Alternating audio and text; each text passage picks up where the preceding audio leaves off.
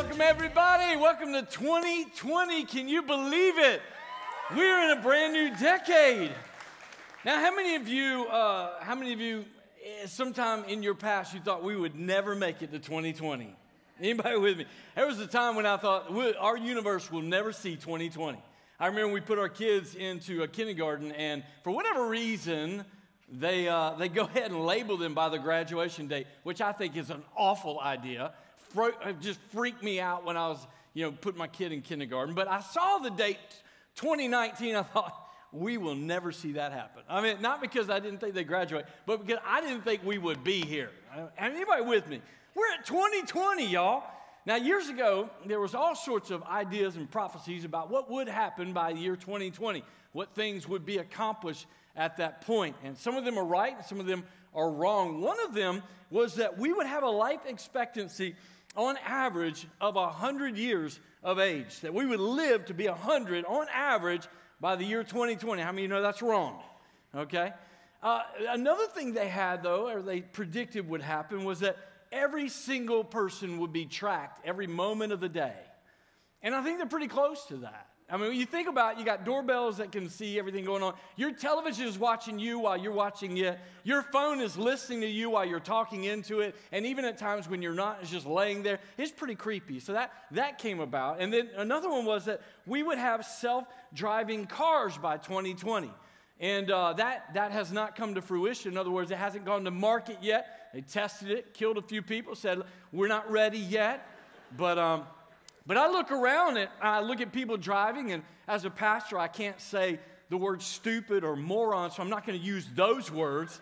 Uh, but I'll let you sort of think about what you would say. But there's a lot of people driving that shouldn't be driving. And so when you add to that a population of cars that have no one in them, that just doesn't seem right. Anybody with me? So there's a lot of things going on here in 2020. We're going to be talking about uh, 2020. We're going to be talking about the decades, but, but I just want to welcome you. I want to welcome all of our campuses uh, to this. this is our first weekend of the new year, and we're very excited about it.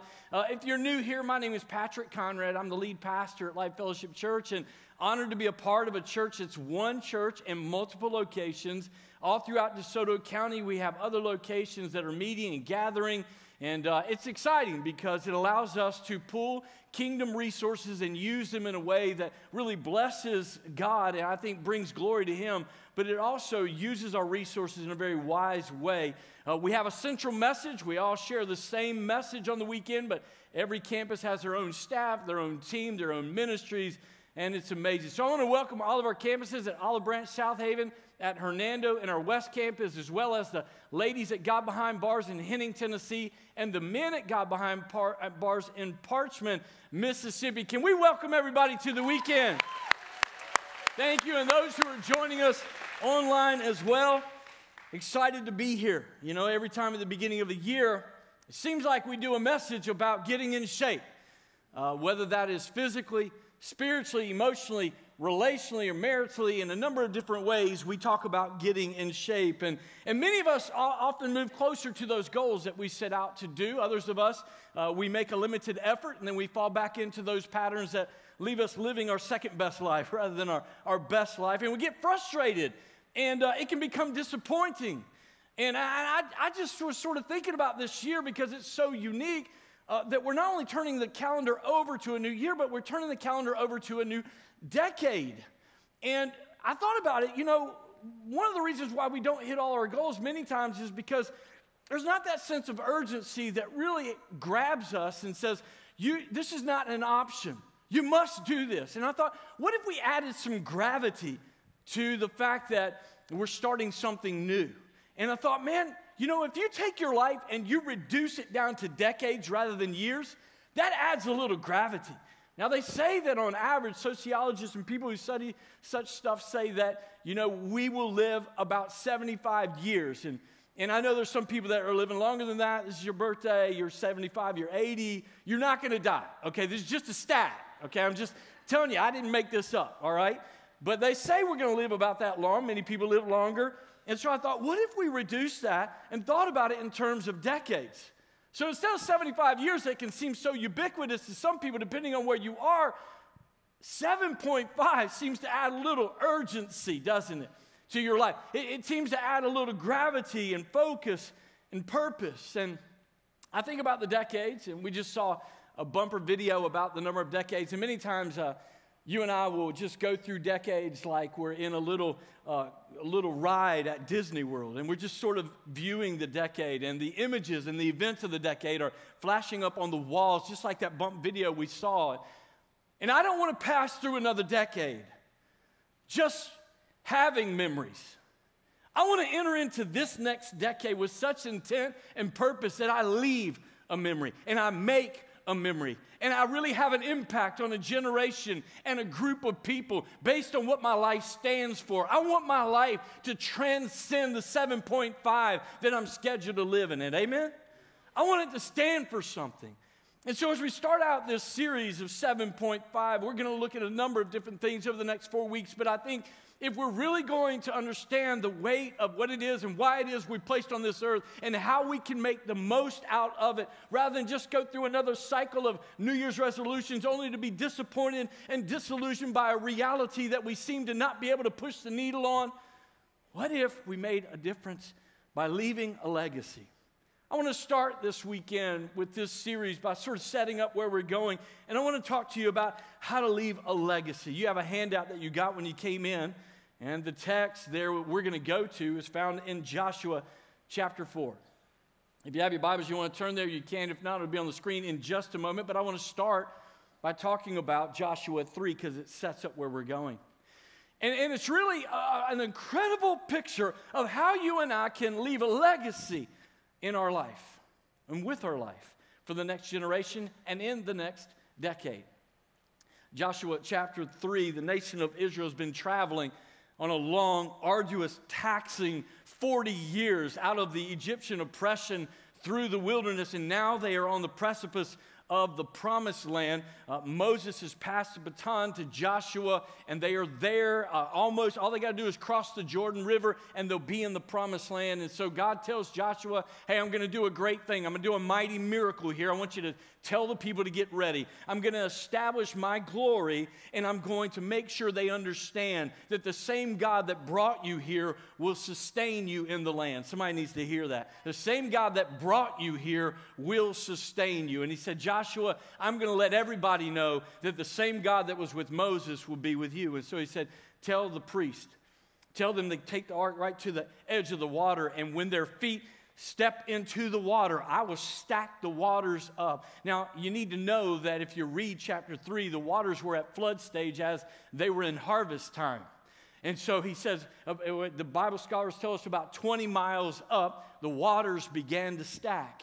And the, the, the, the entire uh, Israeli people just marched across. And there was, you just imagine the city of Memphis and the surrounding suburbs all moving across the Mississippi, okay? Just, just give you a visual there, okay? There's more people than that, but just think about that for a moment.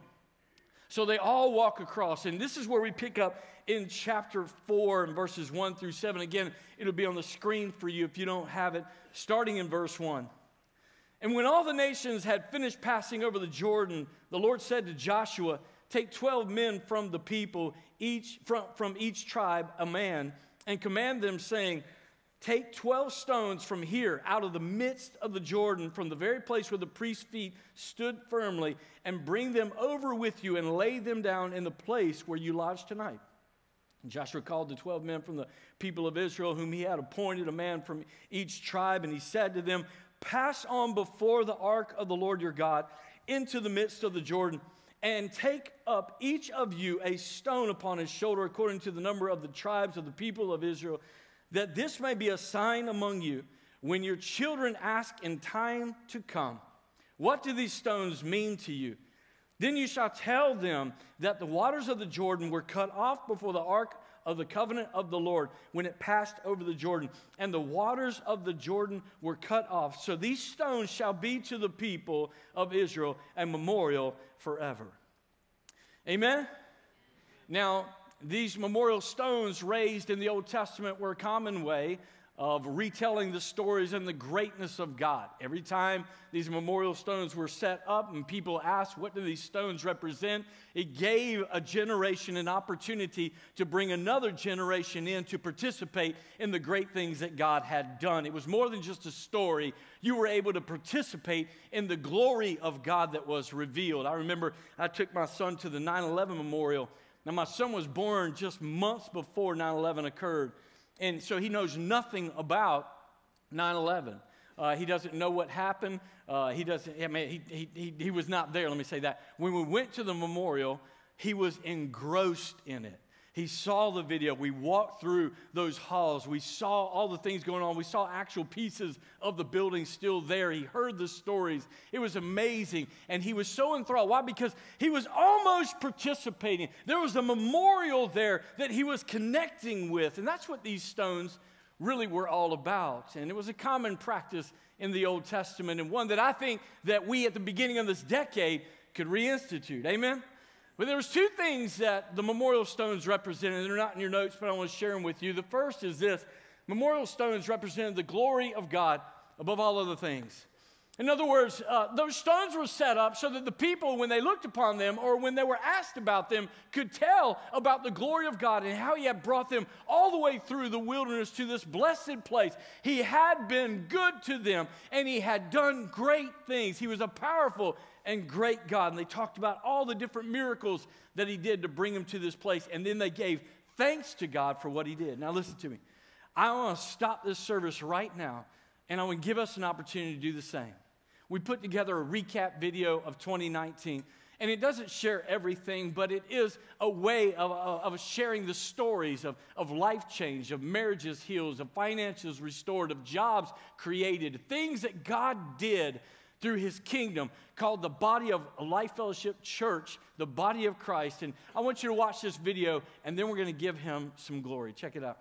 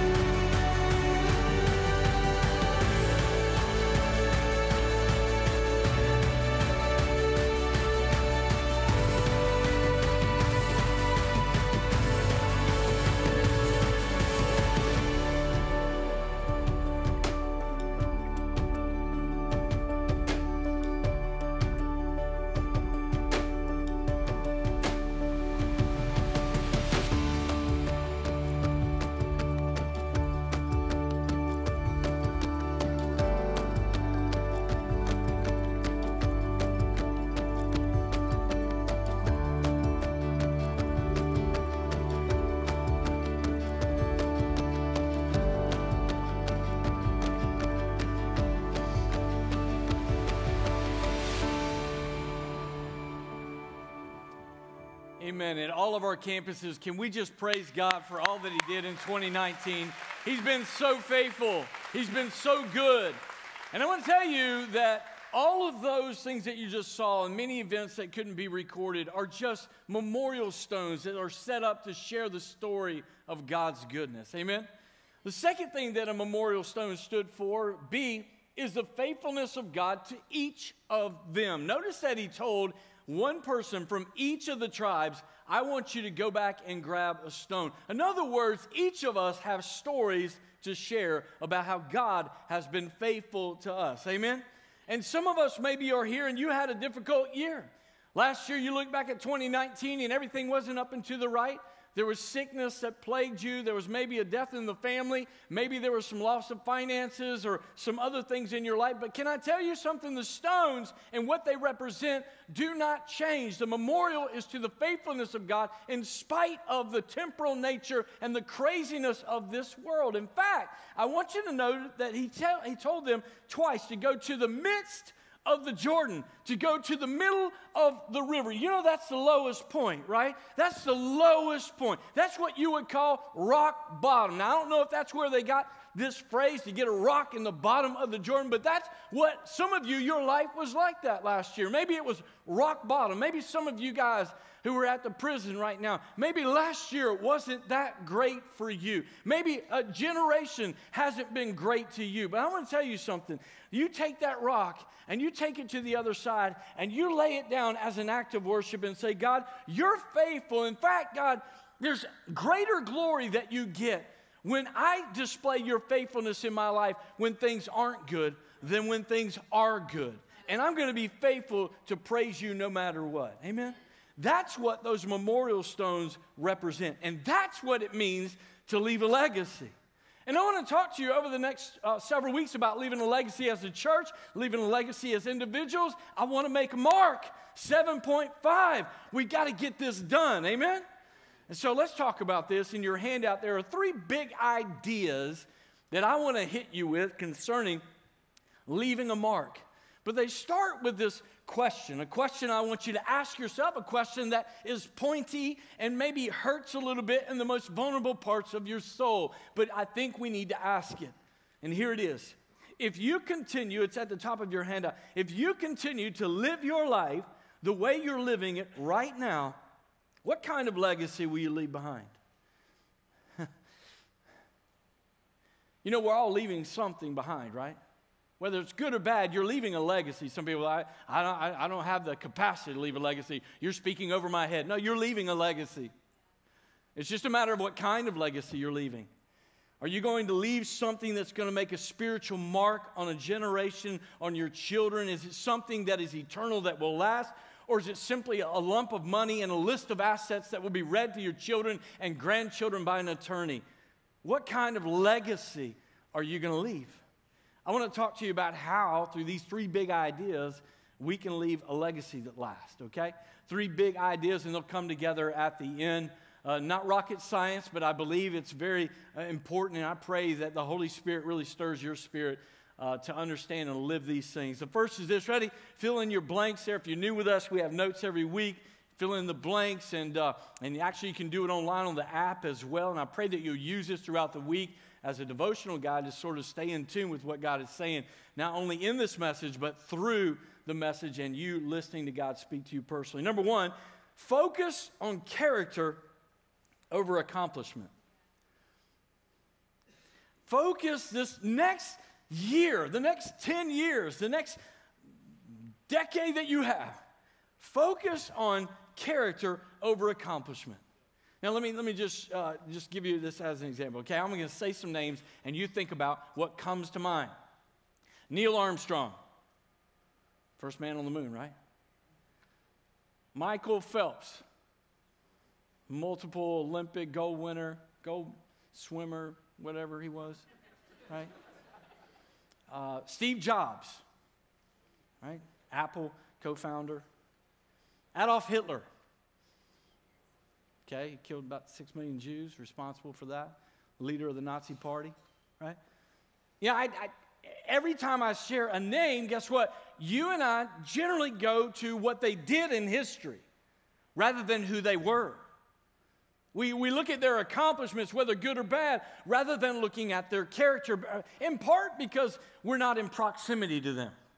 You know, we don't know them well. Maybe if, uh, if, if, if uh, Michael Phelps was my little brother, maybe I would know him a little, I'd know his character a little bit, but I'm not in proximity with him. And so I tend to think about people based on what they've done rather than who they really are. And I, I want you to think about that for a moment because what you do can never take the place of who you are.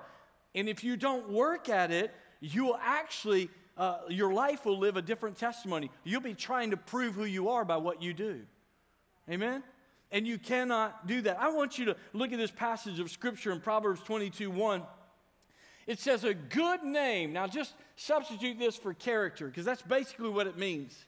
A good name is to be chosen rather than great riches and fame, loving favor rather than silver and gold. Now, I want you to get a mental picture, and if you have to close your eyes, I want you to think about how people think about your name. If you were to share your name out loud, okay? On the count of three, everybody whisper your name, okay? One, two, three.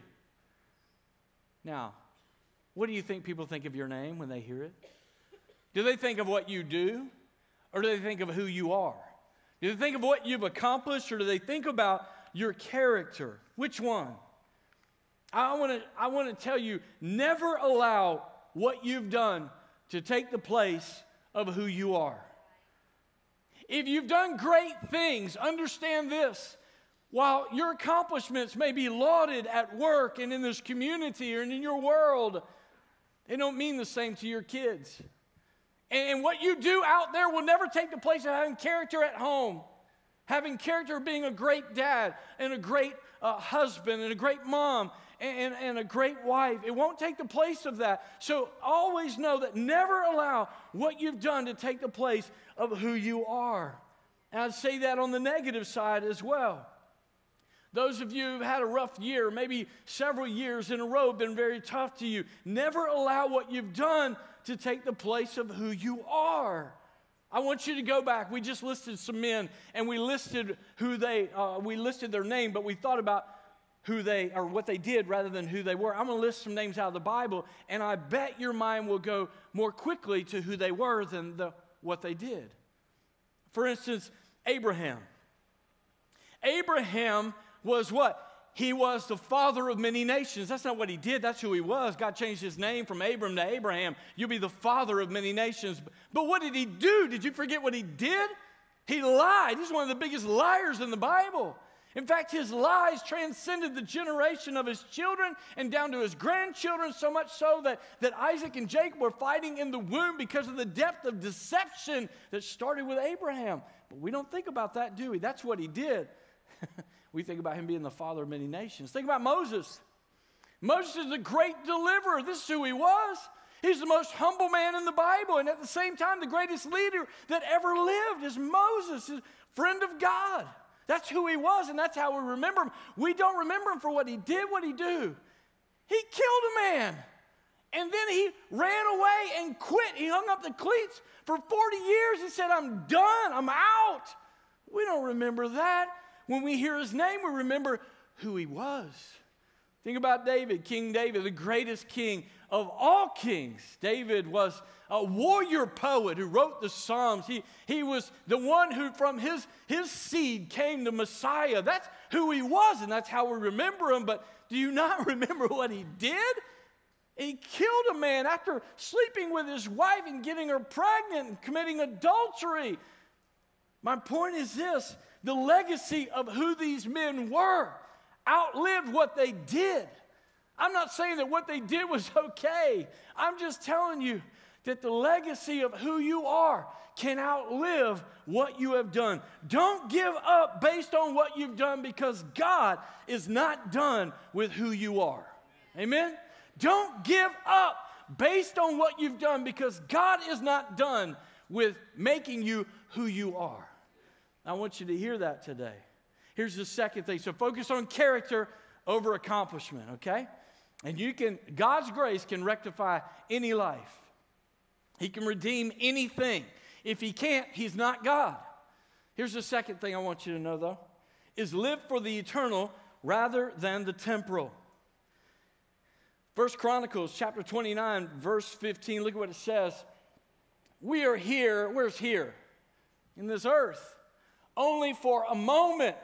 They call 75 years 7.5 a moment.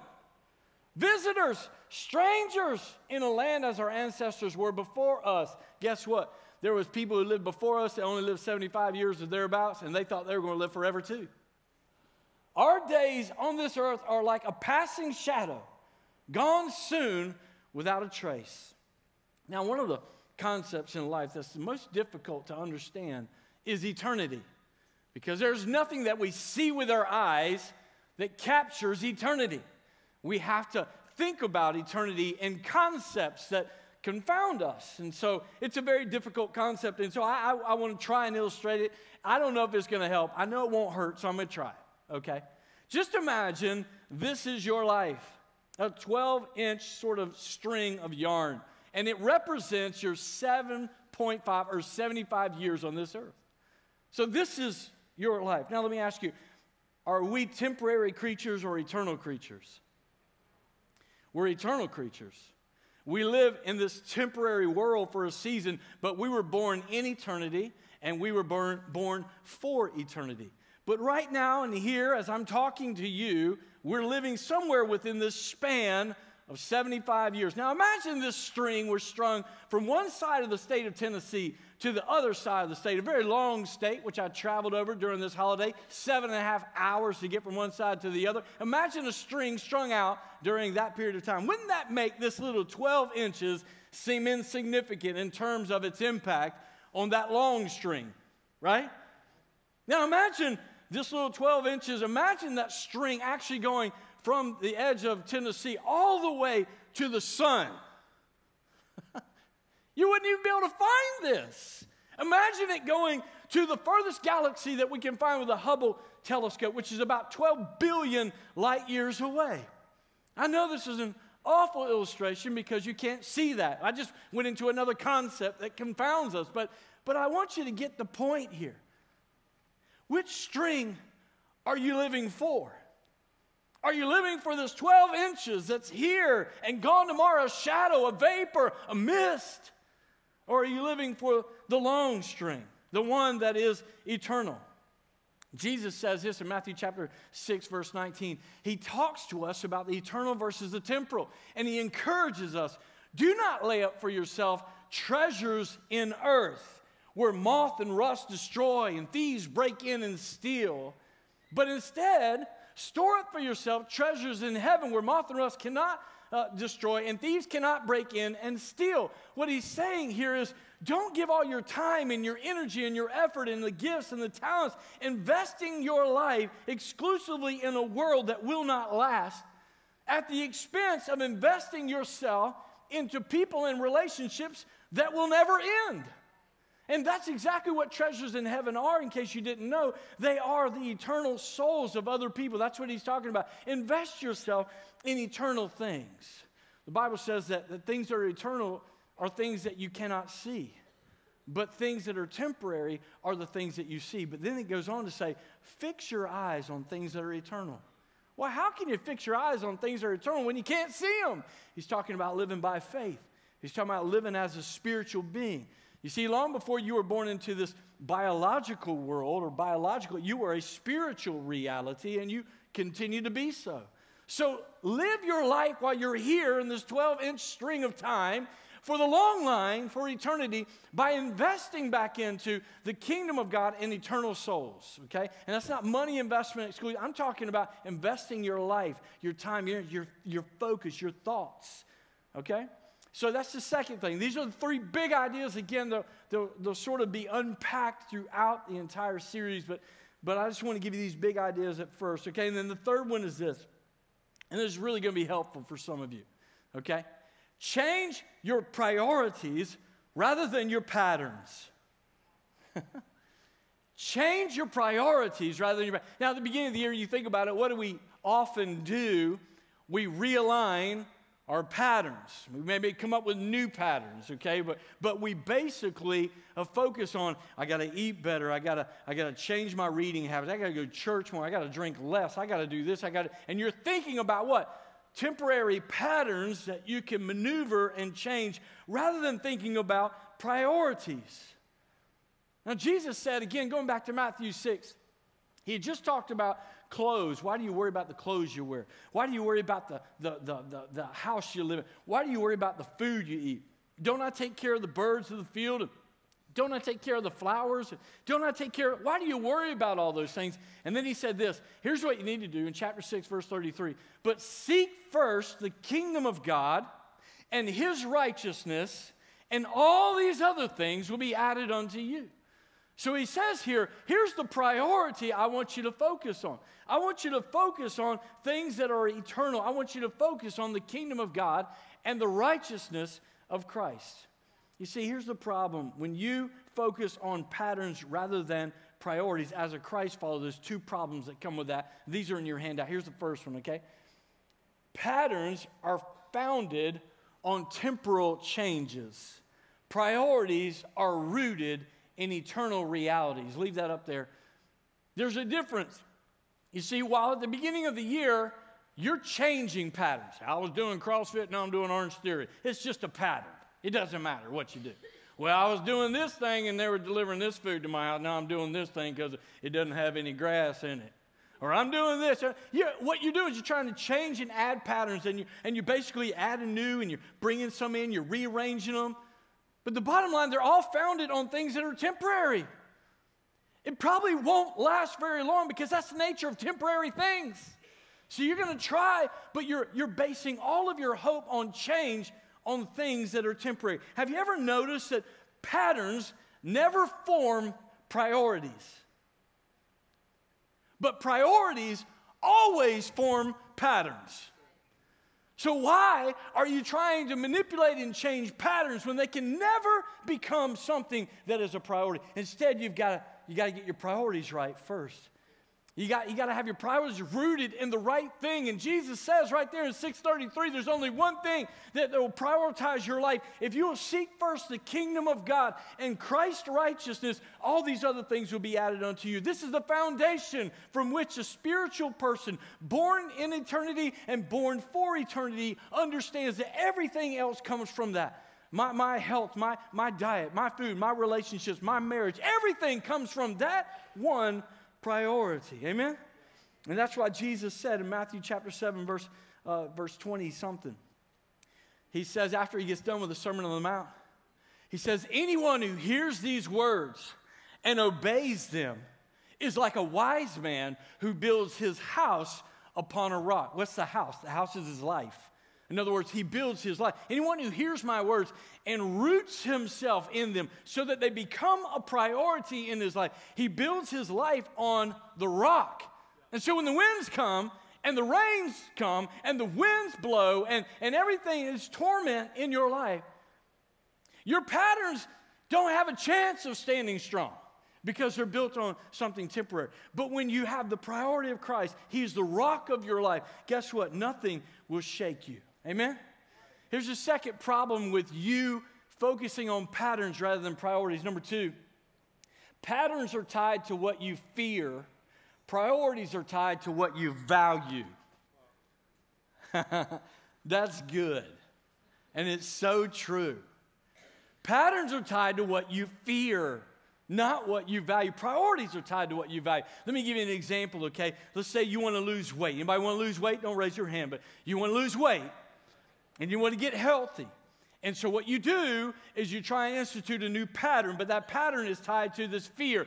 I've got to eat better. If I don't stop eating sugars, I'm to get diabetes. I've got to lose weight. I look terrible. I can't fit my clothes. And what's everything? Uh, your conversation to yourself or the mirror or your spouse is all fear based. I've got to because there's a pattern and the pattern is tied to fear.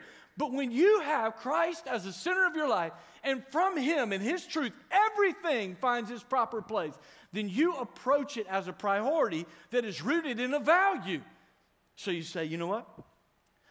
I want my body to be a temple of the Holy Spirit. I want God's presence to dwell in me, and I want my body to display His glory. Therefore, everything I put into my body, I, want to be prayerful about, and I want it to honor Him. And what I do with my body, I want it to be something that can honor Him, that can bless my family so I'll be around for a long time and can be a part of my future. I, I, I do this as an honor to God. I bring glory to God through this. Amen? Think about it. Uh, some of you trying to trying to raise more money this year, trying to trying to uh, maybe get a new job. There's a number of different things that are tied to finances as it pertains to the beginning of the year and resolutions that we make. And, and if you do it based on patterns that are tied to fear, it'll be like, I've got to raise more money. I've got to Uber on the side. I got to do something because if not, you know what? I, I'm, I'm not going to be able to retire. My kids are not going to be able to go to college if I don't. And, and that's your mindset. So you try and change and play with patterns, but those patterns are tied to fear. Whereas when you understand that Christ is the priority of your life, and there's nothing, and, and nothing, or everything rather, comes out of that priority, that rock. Then here's how you approach finances God, everything belongs to you. Everything does. And so, God, as it pertains to money, I want to honor you with this. This is just a tool. This is this little 12 inch, 75 years is nothing to you. You own it all. This is just a tool within this little 12 inch strand of yarn that I can honor you, that I can put you first, that I can give glory to you by the way I use this tool that you've given me. And so here's what I'm going to do God, I'm, I'm going to honor you with the first and the best and I'm going to save 10%. I'm going to tithe 10%. I'm going to live off of 80. God, I'm going to trust you for the rest. God, I got the same problems anybody else has. I, the only difference is I'm going to put you in first place. That's the only difference. I'm going to live for you. I'm going to tell you, we're trying to build a legacy, not a mansion. We're trying to build a legacy, not, not somebody to, to, to say, man, what a great life you lived on this earth. We're trying to live a legacy. Amen? This is how we do it. We put him first. So here's what I'm going to do I'm going to close with this. Oh, look at this line. This is so good. It's in your handout. When you value the right thing, then you fear no thing. Think about that for a moment. When you value the right thing, then you fear nothing. And that, that's the kind of life I want to live. That's the vein I want to live in. That's how I'm going to leave a legacy. So let me share with you as we close real quickly uh, how you need to, uh, if you're going to change your priorities rather than your patterns, here's the priorities that you need to make important to you. Number one, this next year, to know God intimately. Now, listen to me. Uh, I know that we live in a very Bible belt saturated religious culture. I've lived in it all my life. And I just want to say to you if you struggle with having a, a relationship with God where you laugh and you enjoy your life, and instead you are beaten down by rules and rituals and religious uh, protocol. And that's how you understand coming to God. You need to completely just get unsaved from that because that ain't real salvation. Okay, so I can say this and not be a heretic. Just dump that. You need to have a relationship with God. You need to love God. And you need to let God's love fill you with a joy and a peace and an openness. I'm going to tell you the only way to do that is stop making God a part of your life and make him the priority of your life. Because uh, one of the reasons why it's so easy to fall into the trap of religious rituals is because he's only a part of your life. So he is that Sunday part that makes you go to church and do what you need to do and pay your tithe and do. That, that, that is not what God wants to be. And that's the reason why your religious life is so miserable. But instead, just love God. And when you love God, you can't help but obey His, his law. His law is not anything to be obeyed, it's a life to be lived and enjoyed. Amen? So the Bible says in Jeremiah 29 13 and 14, You will seek me and you will find me. When? When you seek me with all. Don't, don't let me be part of your life. Make me all of your life and with all of your heart, and I will be found by you, says the Lord. Now, one of the problems with you and I really having a relationship with God may be that sin is blocking the flow, the life giving flow that you need. And maybe it's a roadblock in your life right now that is distancing you from God and you need to deal with it. So maybe at the end of the service, you'll come down and you'll write down that sin that is keeping you from experiencing the fullness of Christ. You write down, you pin it on the cross. And you say, Oh, Pastor, that's just silly. That's just writing something down and putting it. No, no, no, it's not silly. That is you. You're submitting your flesh to do something by faith that your spirit man needs to do and obey. So, by, by in your physical nature, you're writing something down, you're coming down, you're pinning something on the cross, and you think that's not a big deal because you're doing it sort of in a physical activity. But as you're doing that, your faith for that is growing. Let me ask you, why is that sin still blocking uh, your favor with God and the fullness of God in your life? Because you're not doing anything about it by faith. I challenge you this weekend to write down that sin and, and, and listen, you're still going to struggle with it. It's not going to go away. It's going to be diminished as its impact on your life until one day it may go away by the full grace of God. But understand, you're always going to be struggling with sin, and that's not a bad thing. That's a good thing because when you stop struggling with sin, you've just given in to it. Amen? This is good teaching. But that's a totally different rabbit trail. Let me finish up. Number two, Connect with others regularly. Ephesians 2 9 says it this way You are a member of God's very own family, and you belong in God's household with every other Christian. Now, let me just say something real quickly because we live in a different day and age uh, than when this was written. And I realize that many of you can watch this online, and that's a great benefit to those who cannot be here. But I want to say, and I'm fearful that this has become something that it should not be. And I fear that the pursuit of convenience is eroding the pursuit of connection, which is the very heart of God. And so I encourage you to be a part of the family of God, to be in a service and to be here whenever you can. Online services and the, and the app is all for, for opportunities for people who can't be here. I'd encourage you to be here every time you can. I'm so glad that God didn't text us, He didn't DM us. I'm glad He didn't transmit the Great Commission through Facebook posts, but instead, God so loved the world that He came and he became one of us and he came to us. He connected with us. And I want to encourage you get connected this year. Stop playing around coming once or every whenever you feel like it. If you live by your feelings, guess where that's going to take you? Where it always has. Second best life, third best life, whatever you call it. But if you live by a discipline and you live by a priority that is anchored in eternity, then you're going to see changes in your life that no amount of changing your patterns could have ever brought about. So I encourage you, come be a part, connect with others regularly. And thirdly, and we'll finish, serve people passionately. This is one of the things I'm really excited about personally in my life is I want to win people to Christ outside of this arena. I want to personally win uh, there's, a, there's a friend of mine down at the gas station. Bro, I'm coming after you this year. You are going to find Jesus, and I don't care if you come to church here or not. Uh, there are people that I want to win this year in a relationship with God. Amen? Serve other people passionately. In fact, one of the reasons why you're still here on this earth is so that you can use the gift that God so graciously gave you to influence another person's life for the glory of God. And you participating with God in His plan for lost mankind is one of the greatest things you'll ever experience in this life because it connects you to that, that long string that we couldn't conceptualize called eternity. That's what it connects you to. It connects you to where you came from and where you're going to end up. And it's the greatest joy you'll ever experience. Amen? So let me close by asking you this question one more time. I want you to think about it. If you continue to live your life the way that you're living it right now, what kind of legacy will you leave? What kind of legacy will you leave? I want to tell you this series is not meant to help you achieve your, your, your New Year's goals or become the best you or the new me or whatever. It is not for that. What it's for is to help reshape your life so that it matches the potential and the purpose of God for your life.